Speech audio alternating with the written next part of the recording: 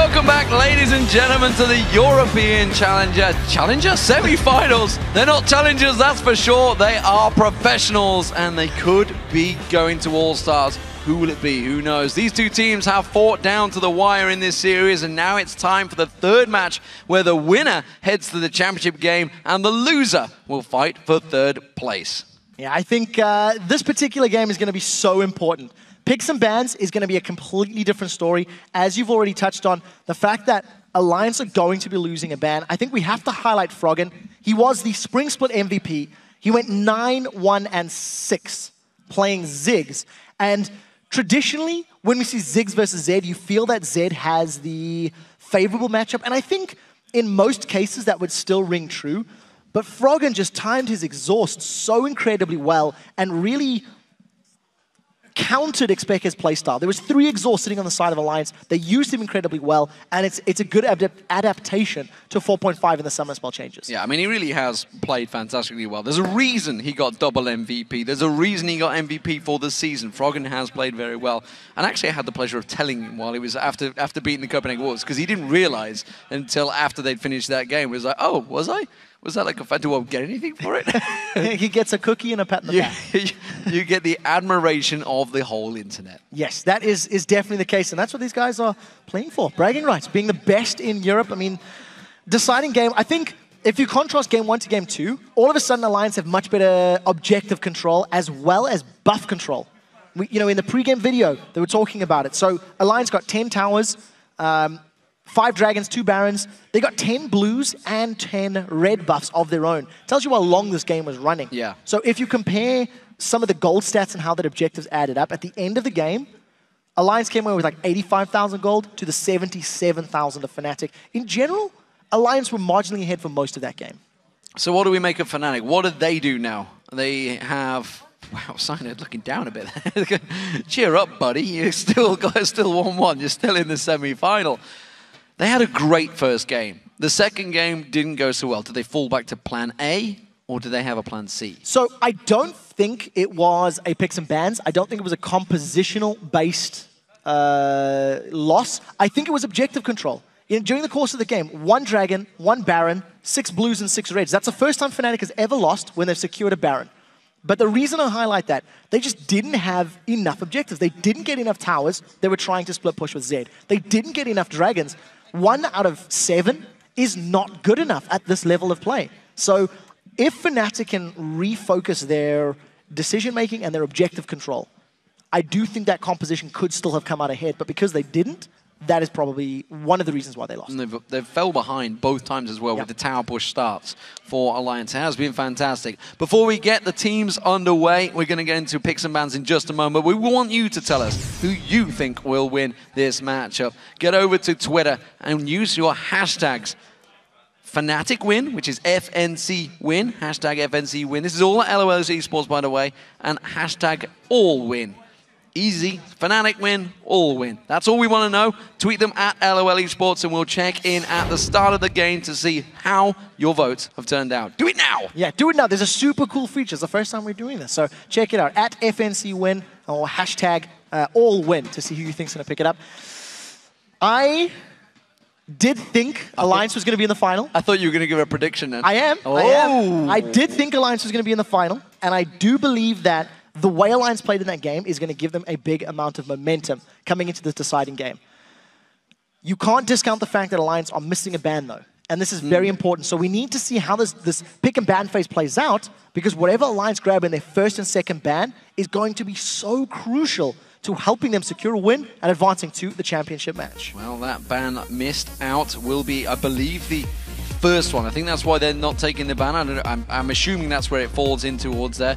The uh, first ban for Fnatic, well, no surprise. Went straight to Irelia again, taking that one away from Wicked. We talked about it yesterday, how good he's been playing throughout the season. He has such bigger stats on that champion compared to every other champion in his pool. For the record, most banned champion of the playoffs thus far. Six and six whenever Alliance are playing, and both of the best of threes that Alliance have taken part in have gone all the way to the deciding game. So you know, once again, we'll see Wicked most likely on the likes of Ryze, maybe the likes of Renekton. It's going to be up, it's going to be available. I don't know if Fnatic are going to first pick it. Ziggs was taken away from Froggen, caused too much terror for them in the last game. 9-1-4 he ended on, I believe, there. Soraka being banned out. They don't want to see Soaz terrorizing that top lane on it this time around. Uh, no, they're not. Now, the question is, do they ban a jungler? Kha'Zix is available. Both of the games in this series, Kha'Zix has been first picked, so it is an option. Evelynn also been banned out both times by Fnatic. Let's see if they use it this time around. Yes, they do. There we go. So sticking to that ban against Shook. They don't want to have Shook on that. Shook himself has incredible win percentages on Evelynn as a champion. That's where the big eight-game win streak they had. Actually, I think it was yeah, it was eight-game win streak they had was uh, picked up mainly down to Shook. And let's not forget, Nyph was on Thresh for a big Yes. period of that. Even more important than the winning streak, uh, Shook has won four out of five games when playing Evelynn, and he's got a 5 KDA on that champion, which is great numbers. Knowing that Ryze is banned out, I think Alliance are hoping to get their hands on Renekton. Uh, at the pro level play, there's a lot of talk how Ryze is a counter to Renekton and, and really gets in his face. So Oh. by removing that, it's going to allow Alliance to grab that as a first pick if they want it. Well, it Nidalee has been banned out every game so far. That Wow. loss of ban does mean it got through. Peke will be playing that one. Well, we'll see whether it is him. I'm expecting it to be. But Jax and Kha'Zix being locked in by Alliance. What are Fnatic going to do to counter this Jax? So this is a very interesting pickup because it's Alliance that have banned Jax in both of their previous games. I had actually been watching this under the impression that Wicked was either not comfortable or not wanting to play Jax in the top lane. So it's interesting to see him lock in, and that was a very quick lock in as well. The counter to it, if they're going to put this Lulu top, I think is a pretty smart option. When he jumps in uh, to leap strike you, you can glitter him, you can turn him into a munchkin with that whimsy, and you can get away cleanly. So there are tools in Lulu's kit to deal with the Jax. The real question is, who do they put as a late game champion? Do they want to run another Kayle mid to maybe try and control him in a super late game? Uh, because the, the longer this game goes, the more likely Jax is to become unstoppable and be this just super immense side split pushing monster. Well, they're changing at the moment. They had Twitch highlighted for a long period of time, worked very well in the last game for Tamps, despite the fact he was a long way behind in farm. But he may be falling back to a ever-present champion in his pool, which is Caitlyn. It's a champion he played consistently when he was on the Lemondogs and has continued to do that on Alliance. It looks like it will get locked in. Once again for Nyph, it's going to be Nami. Yeah, again, surprising. It's it's one of his lesser played champions. Uh, this split, at least, he's been focusing on Lucian, but Lucian has been landing in the hands of Fnatic all three games in a row now. The one thing I do like is this is a lot of ranged, uh, long-range spell poke. Uh, with Nami with a bubble, as well as the Piltover Peacemaker, you can defend under towers. There's also a lot of on-hit damage. If you combine the headshots of Caitlyn plus the uh, Tidecaller's Blessing from Nami, you've got an on-hit slow that allows you to land multiple auto attacks. So Alliance, if they're in a 2v2, they're in a good position already. That's a strong lane. If they want to do lane swaps and they want to tower push and do fast rotations, they also have that option available to them. So a lot of tools that Alliance can play with. Remember, at the moment, we're just waiting. All the champions getting locked in very quickly. Nocturne getting picked up here by Cyanide. This is a champion he's played so heavily, but barely had a chance to show it. If you look at his solo queue play, he spams this champion non-stop. This is all he plays heavily at the moment. And he's finally, he played it at Katowice, and they had one loss on it. And he was so depressed about it when we were talking to him. Morgana also locked in by Yellow Star. That's a champion he's had great success on. So what I like about the Nocturne lock-in is this is going to be our first real sort of feral flare style jungler. So I want to see where the Sinai is going to pick it up. Part of the reason I do like this lock-in, if you combo the Paranoia with a Wild Growth in a team fight, the backline of Alliance is going to get jumped on tabs, even with the protection of a Tidal Wave and playing on Caitlyn, is going to get run down by Nocturne. I want you to cast your mind back a few weeks ago to the uh, Nocturne being played by Meteos. He was able to actually solo. This is a fizz for Froggen. So, Assassin on Froggen is super exciting because you're going to have Jax, Kha'Zix, and Fizz diving onto Fnatic's backline. One of the best things to deal with a long-range poke composition like a, a, Nidalee and a Lulu who's going to be throwing glitter lances at you is hard engage. So if Fnatic are ever grouped up tightly enough, Alliance are going to jump in, and I'm terrified of this jump-in comp from Alliance. It's somewhat reminiscent of the playstyle Wolves beat them with yesterday.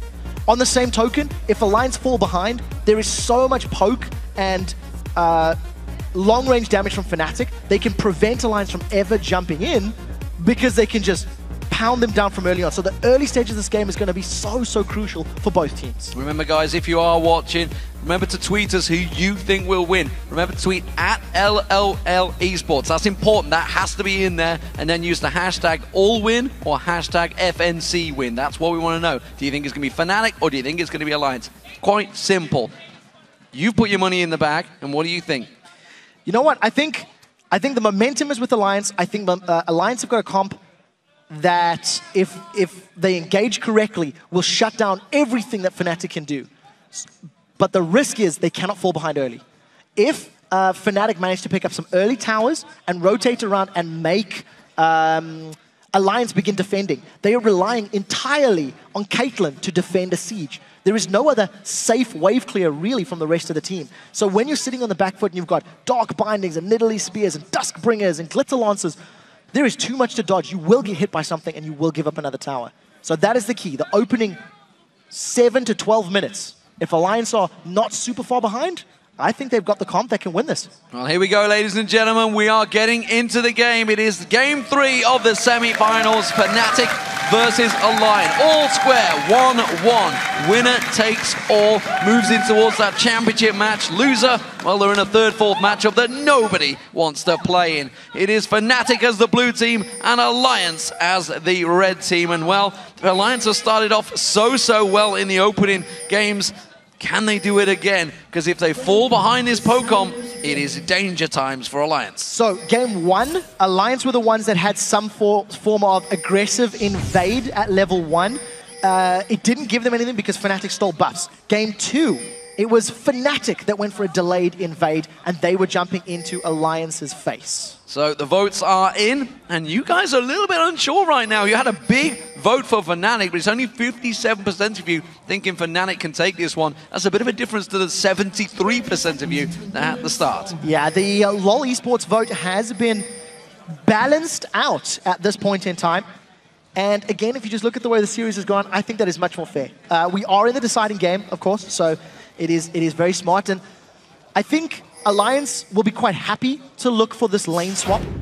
It does look like they want their AD carry in the top lane, and it does also look like they're going for a little bit of an invade. So they're uh, replicating what Fnatic did in the previous game. Yeah, they are delaying on that blue invade. We'll see whether Fnatic do counter this one. They haven't got a ward in the river area, but it won't spot them if they sneak around there. And that is interesting stuff. Yellowstar is up here, though.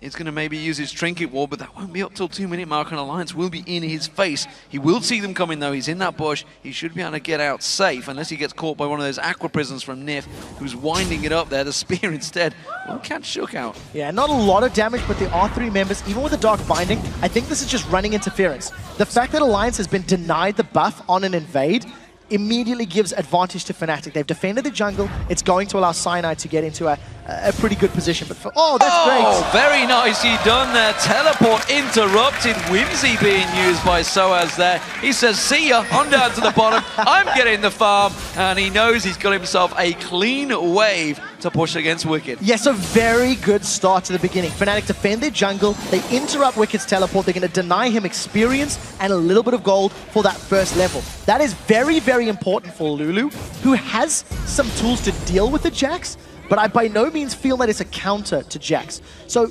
there is always going to be some pressure and some onus on Fnatic to, to control uh, Wicked. Because the moment Wicked does hit that Blade of the Ruin King Trinity Force level of power, I think there's nobody in Fnatic squad that can deal with him 1v1.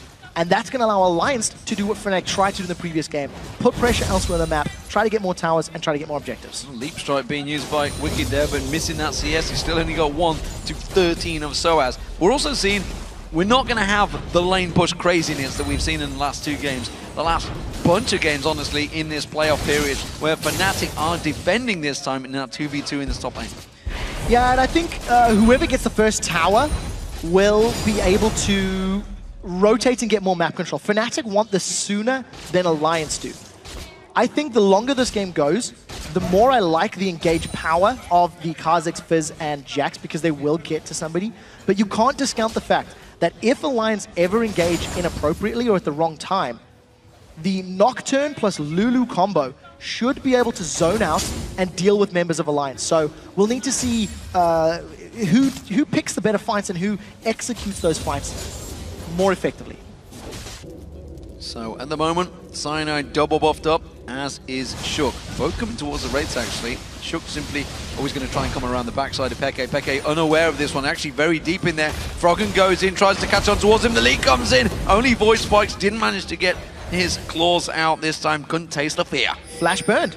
So this time around, Fnatic, they've got that heal on Peke, so he's got his own built-in heal thanks to playing Nidalee, as well as Summoner Spell double exhausts from Rekkles and Yellow Star. And I'm just looking down the rest of the list. There's actually an Ignite on the side of Froggen. So only Ignite that we've got in the game right now. A lot of exhausts on the side of Fnatic. We've seen how effective those exhausts are against Assassins in the previous game.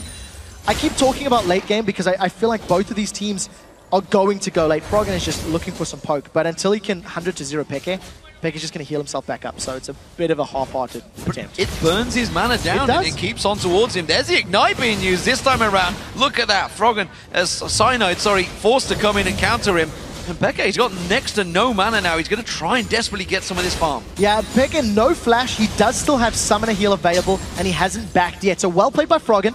Uh, dealt more damage than even I was anticipating. And uh, Peke just under a little bit of trouble. He can't he can't run the risk of getting 100 to 0. The moment Fizz is able to do that, he's going to be able to just side push and, and go to the side lanes and really put a lot of pressure elsewhere on the map. And, you know, Froggen picking up that Crystalline Flask played it exactly how you should against Nidalee. We've seen it a couple of times where players don't bring that Crystalline Flask against Nidalee. He's going to get poke, poke, poke, especially as a melee champion. Wicked taking some big damage from Soaz there, and he's caught up very well, though, when you consider the advantage that Soaz had in this lane. Yeah, so about a minute of uncontested farming, maybe a little less than that. But also the fact that he's a melee champion against ranged. Wicked's doing fairly well at CSing under the tower. He's got vision of the Tribush, so even if Cyanide wanted to come in, he would have had some time to think about it. You never really want to tower dive a Jax unless you you can instantly blow him up. Because of the Counter-Strike blocking auto attacks and the fact that it will stun you when you're in range, it just makes it so, so risky to execute that play. I think it was smart call for Cyanide to back away spotted out early. Shook was heading down there again, looking to maybe try and pounce onto Peke in that mid lane. He's already forced him to burn that flash. Chum the Waters is available. Not hit level 6 yet. So he's going to get Chum the Waters, catch on towards him. Froggen goes in. Shook pounces in there. The tower damage is on Shook, but it's easy blood for Shook there, taking him down. No problem about that. Very well executed by both Froggen and Shook. They landed everything that they needed to. The moment Froggen hit level 6, he instantly took advantage of it. What's even more impressive is that Shook had roamed around the moment that it happened. That that gank had been set up a little bit beforehand. Froggen or Shook would have communicated, talking about the levels, talking about Chum the Waters being available, and they synced that up exquisitely. It appears to have been going on so long, I'm starting to miss words out here in my pronunciation. Tab scored out with a very good Dark Binding there. Rekkles doesn't manage to try and counter on it. We'll keep that farm going. And this top lane pairing is staying very even. Bottom lane pairing, well, Wicked is backing away. He's going to have to buy here. He's managed to push a wave up, but Soaz is going to keep that advantage in his top lane. He's going to be around about 20 CS ahead of Wicked by the time he's done here. And he's freezing the lane. At Dark Binding's land, they caught tabs. And caught him out. They're going to use the exhaust with the Aqua Prison, turns it back around on towards Rekkles. Damage still continuing to come down on tabs, but he's safe for now. I was just about to say, oh, now Pick has been jumped on. In that top lane, as long as tabs and Nyph don't get caught by a Dark Binding, I think they outrange both Rekkles and Yellow Star, and thanks to the damage amplification that you get from Nami, I think that Tabs has the ability to keep Rekkles and Yellowstar poked down. There is a higher burst on Rekkles and Yellowstar's side though. So the moment anyone gets caught out, Lucian and Morgana is just going to melt a big chunk of your HP thanks to the uh, burstier damage of Rekkles' Lucian. So at the moment, it's Fnatic that are pushing this top wave in.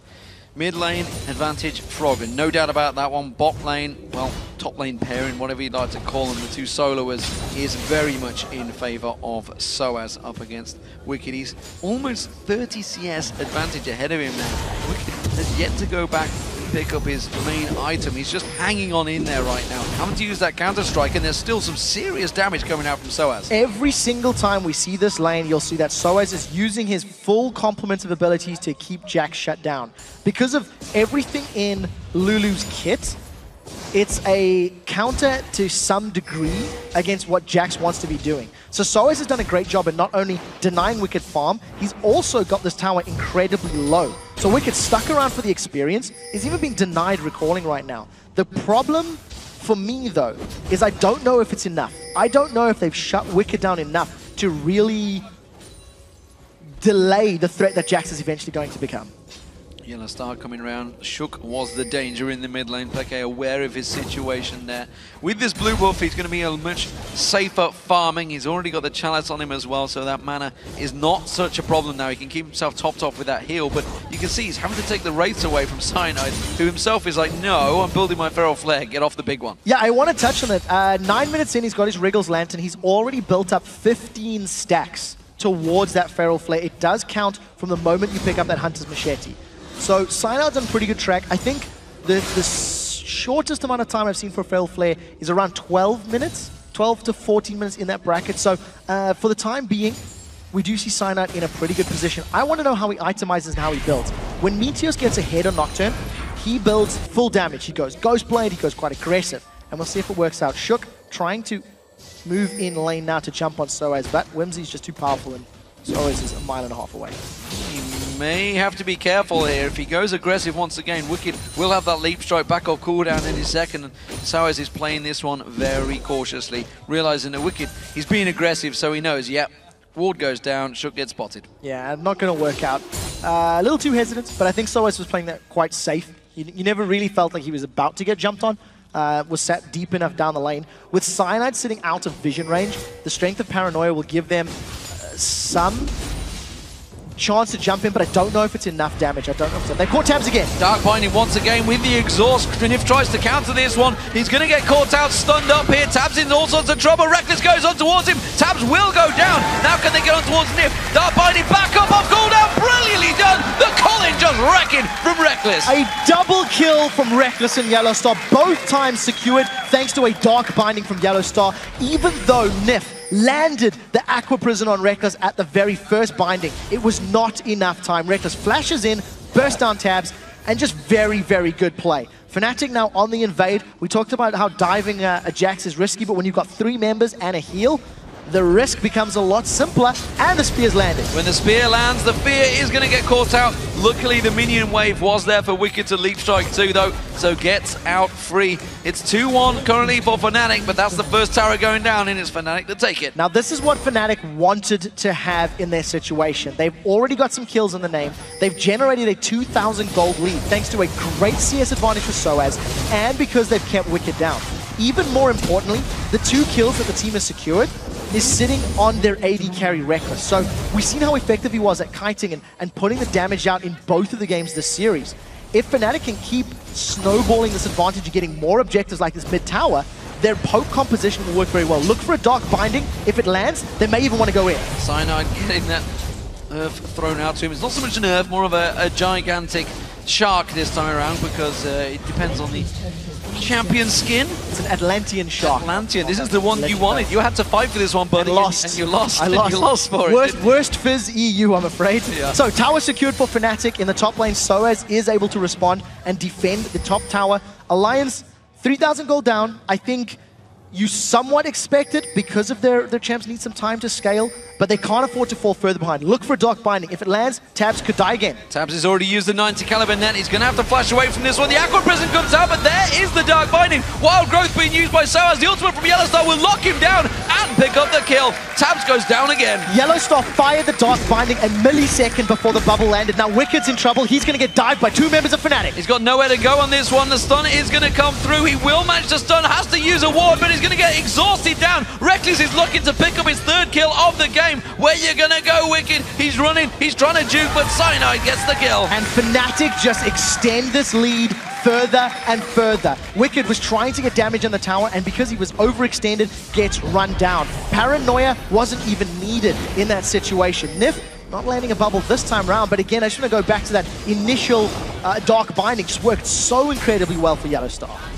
We were unsure how it would work out for Wicked on this Jax. Jax is a very strong champion, and if the game goes longer, then it will become a problem. But from the word go, Soaz has really put the pressure on towards him and kept him guessing, kept him out of the lane phase and kept him well away from farm. You can see it's a 40 CS difference between Soaz and Wicked right now. And well, we talked about it with this Nidalee. If you start getting the advantage, you can start putting the pressure on the towers. It is a huge, huge difference for Fnatic. And with a, what, 4,000 gold lead 14 minutes into this game, it is playing very much into their hands. Yeah, and this is what Fnatic wanted and what they needed, uh, to, to be frank because they, they, they can't run the risk of being assassinated, we'll see if Froggen can jump on Rekkles. They're going to dive him. They're going to dive in. The counter-strike comes in. They catch on towards him. So Froggen pounces in there. Wild Growth comes out. Rekkles is in trouble. He's going to get dropped down, or is he? He tries to get away from it. He's just going to kite them round. But now Soaz, he can clean up. Wicked taken to nothing. They both pounce towards him. Soaz gets one, gets another. Ooh. Oh, Playful Trickster away from the shield. But the spear comes through. Wild Growth comes in.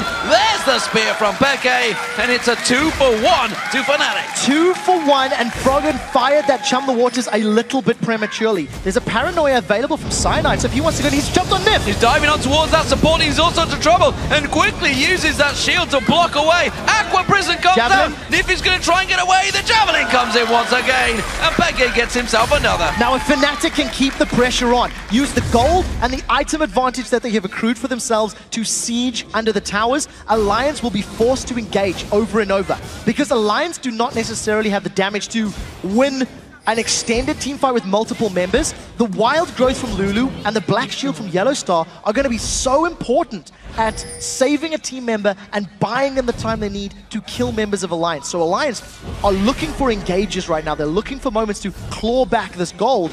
And if they do, if they perform like they did against the Wolves, they they overcommitted when they were behind. They picked slightly inferior times to engage, and they can't run that risk now because they're already 6k gold down. The blue buff was also stolen away by Cyanide there. Froggen not going to be getting that one again. They're starving him of that buff all throughout this series, and so far it has been working wonders for Fnatic. It's now a 5,000 gold advantage, win them five kills up, 3 to 0 in turrets. Alliance so far yet to get even close to one of these turrets. Yeah, haven't touched them at all. There's one buff away from Cyanide completing his Feral Flare. It's not going to be on the blue buff. The next kill, assist, or large camp. Maybe if he goes for the white. Besides, he doesn't want to start stacking yet. He just realized it. Now, when the Feral Flare is, is upgraded, it will be dealing an additional 100 damage on each auto attack to minions and monsters and will be healing for 10. And for every uh, large monster it, it you kill or, or kill or assist you pick up, that will increase. It does deal a third of that damage to champions. The reason I talk about that, if Cyanide continues to stack this up and builds up a whole bunch of additional damage, him and Rekkles could put themselves in a situation where they can secure Baron as a two-man, and the rest of Fnatic with Lulu and Nidalee can be running interference and holding Alliance back thanks to their great long-range poke. The damage from these spears, not the greatest right now, but there's no Deathcap completed, there's no nothing outside of the Needlessly Large Rod, so Peke is still building himself up. Wicked unable to counter everything Soaz is doing to him right now, and he's on his turret, but Soaz has got the range advantage, just continues to poke on towards him, and you talked about this in Champ Select. Tabs is really the only thing able to try and keep this wave clear away. They have nothing but melee champions, and Fnatic are taking full advantage of this one. They're keeping those spears continuing to flow. Soaz continuing to keep pressure on the turret. They can't do anything about it. So there is a risk if Fnatic continue that siege and stay grouped up, that Alliance can jump in on them with the Jax, the Kha'Zix, and the Fizz. The, one of the, the added bonuses to having Cyanide playing Nocturne on your team is the moment Alliance do jump in, you throw down Paranoia, you deny their vision. Even if you only reduce a portion of that vision, it gives Fnatic the chance to deal with that all-in you know, jump at you comp.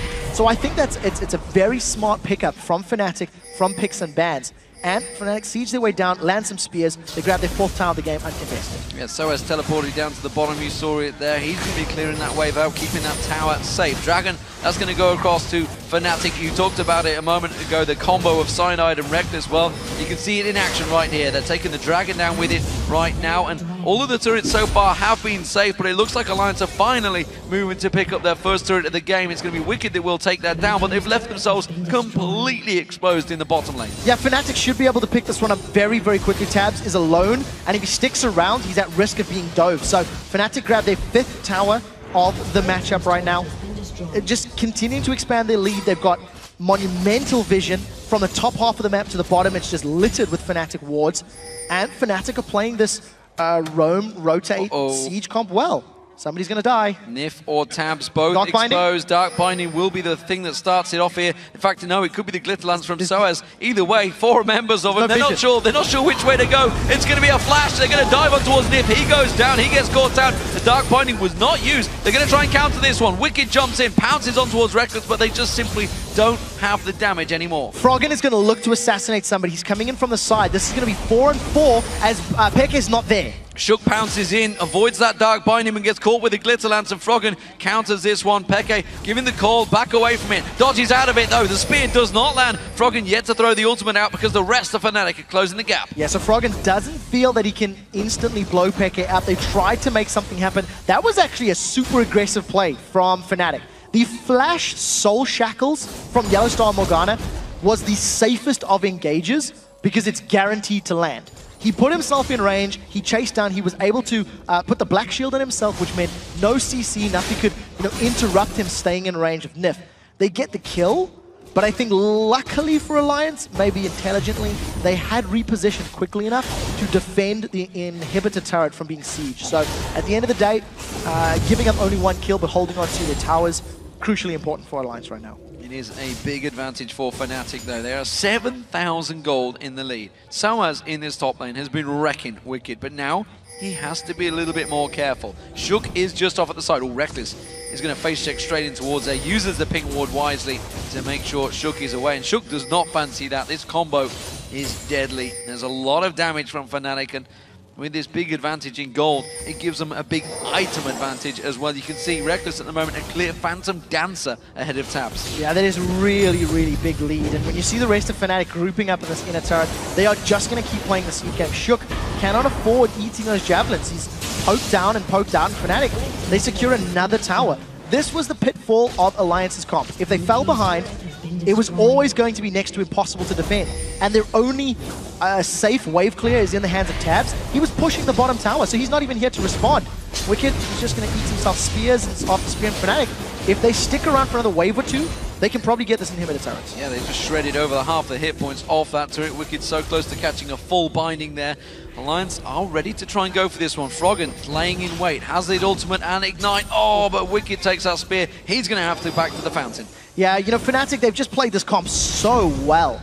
Uh, from the moment they grabbed the, the, first couple of kills, they've focused the towers, they've not waited. That's the most important thing. This is what Wolves didn't do yesterday. Alliance have started a fight. They're going for it. Cyanide's going to be the focus target, but that Dark Shield comes straight out. They're going to be Wickd jumps in, counter strikes all four members, but he is just left alone. And Fnatic turn straight on him. Froggen has to get out of there. His Tabzz gets catches a spear. That's going to be an inhibitor going down inside 22 minutes. There is not enough damage on multiple members of Alliance to deal with super minions this early in the game. It's going to take such a long investment of time that Fnatic are going to be able to siege up the rest of the map, get more objectives like dragons, reds, blues. You know, Tabzz, if you look at itemization, he's a Phantom Dancer down, the makings of a Last Whisper, and he's opted to go for another BF Sword. And I think it's because of Wave Clear. I think he's gone for the BF Sword because he needs to melt these minions as quickly as he can because he is the anti-siege champion. And the moment he takes any poke at all from Fnatic, that's it. The defense is off, and Alliance either needs to all in or back away. They're trying to delay it as long as they can. Tabzz desperately pushing out that entire mid wave. He knows he's safe for now. Alliance moving around. Is this going to be a desperation Baron? It is a desperation Baron if they're going to stop. The, the, the reason it's so risky is Peke can solo defend this. If he lands two spears uh, on, Oh. on a champion, they're going to die. They've, they've tried to set up a cheeky comp in the back there. Oh, but they're all getting caught out here. They're going to try and turn. They're going to rush on towards Peke. The jump in there. Wickd does manage to land the stun. Yellow Star gets dropped straight away. Peke's going to be the next focus target. He's going to ace in the hole. Is going to land on him. And now they're in a 4v5 situation, but Fnatic, they're turning and running to the base. Yeah, there are super minions pushing towards that top lane, so Fnatic can keep Alliance in place long enough they can let the super minions do the rest of the damage. What I liked about Alliance is they were playing the bait game. They actually never intended to go for Baron, they just wanted to jump on whoever came to defend.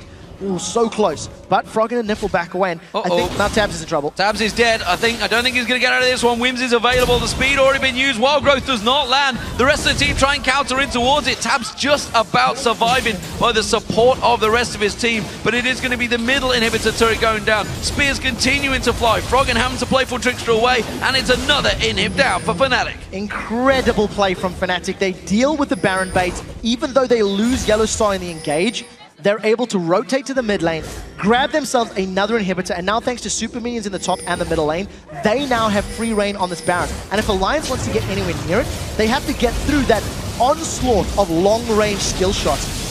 They're not even going to be here quickly enough, I don't think. Maybe, maybe Shook just as it's going down, but if he eats a spear or a binding, that's it, he's finished. Yellow Star ready and waiting to fire the binding, and he lands with the spear and the Colin. Shook in trouble. The heal from Nyph just enough. He's going to try and pounce in, but he gets caught by the spear, and now the paranoia comes out. Wickd going to get jumped on the fear. Will send him away from the Fnatic team. Aqua Prison just enough to keep him at bay. Wickd going to get caught out with a slow. Fnatic closing him down. Leap strikes to Froggen. He's trying to run away from this one. There's the ultimate coming out from Froggen.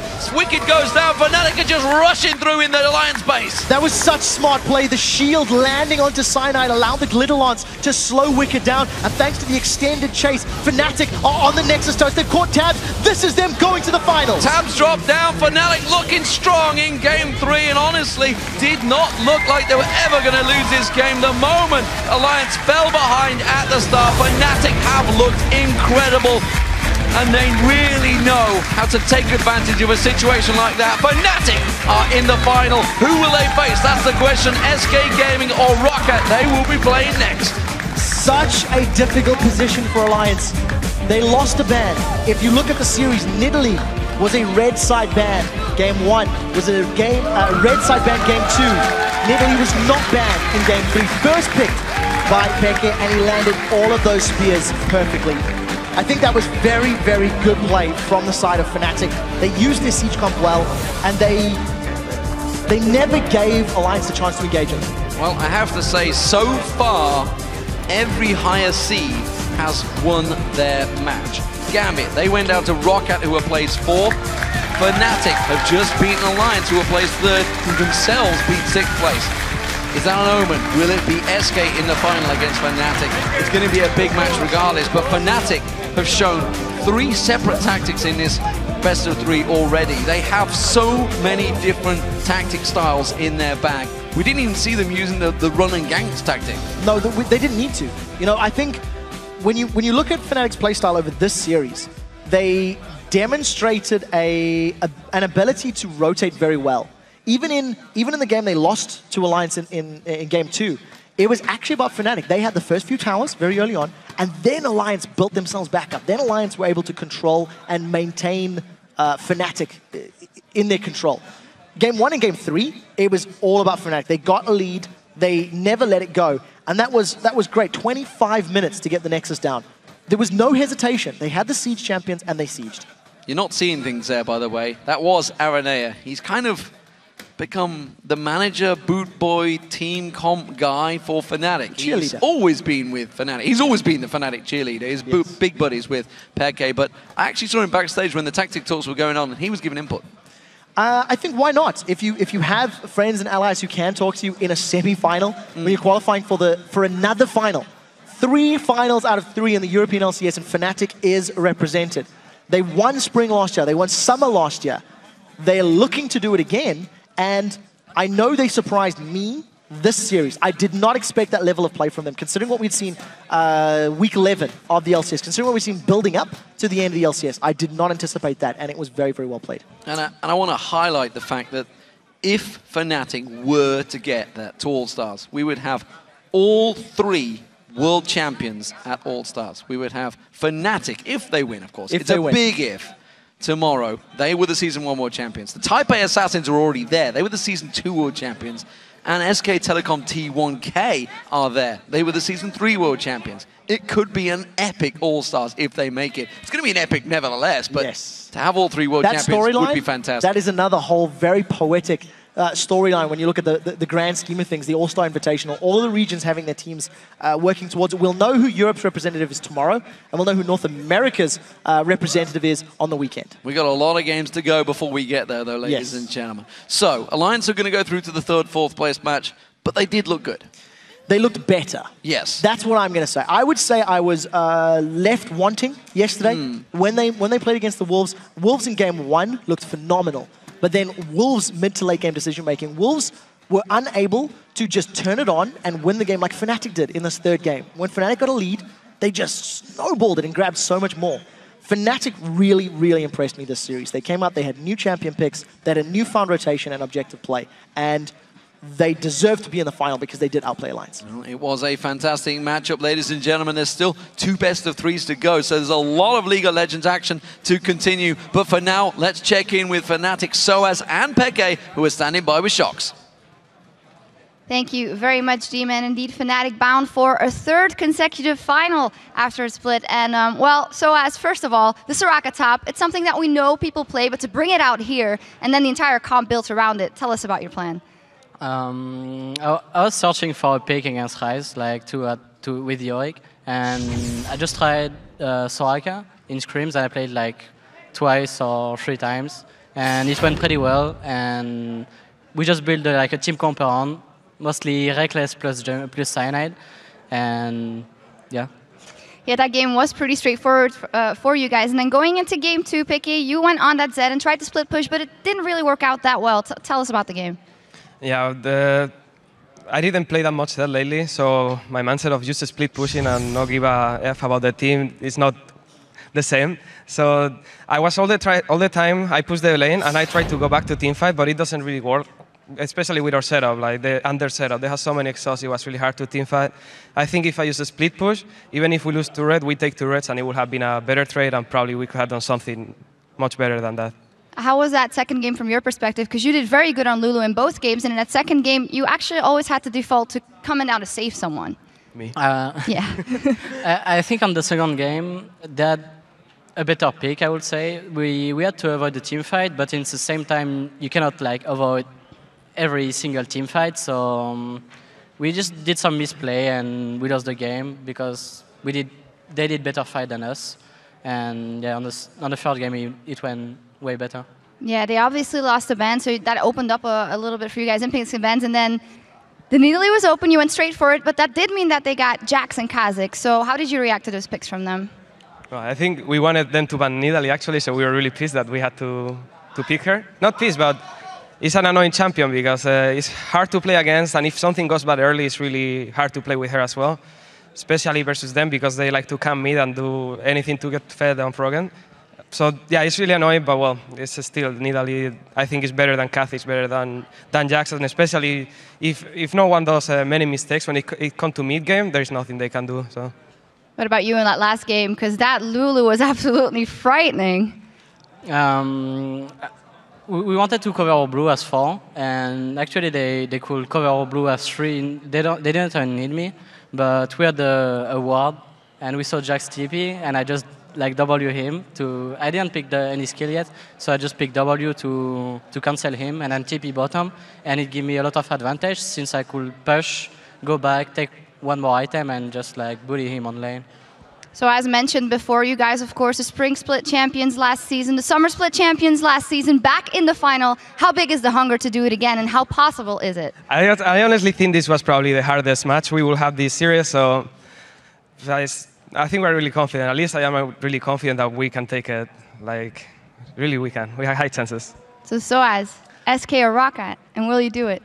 SK, I would say SK, even though Roccat performed really good against Gambit, but I would say SK against them. All right, well, we'll see tomorrow. It's going to be a great final no matter what. Uh, we're going to take a short break, and then it's time for SK Gaming and Roccat to begin the second semifinal, best of three, where the winner will face Fnatic in tomorrow's championship match. Don't miss it. We'll be right back. Peace.